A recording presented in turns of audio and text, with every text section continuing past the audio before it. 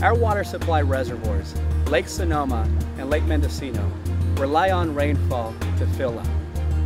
Our region receives the majority of its rain between December and February.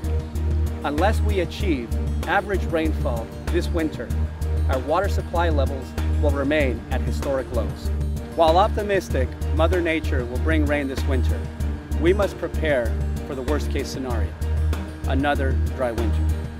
And that is why the Sonoma County Water Agency has focused on drought-busting initiatives like increased use of recycled water use, conservation rebate programs, and working with top scientists to better understand atmospheric rivers and how to best manage our reservoirs to squeeze every drop of water we can.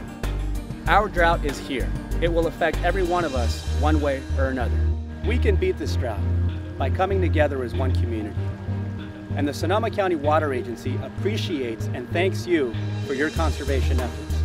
Keep up the good work and keep up to date on the drought by visiting our website at www.sonomacountywater.org and following us on Facebook and Twitter.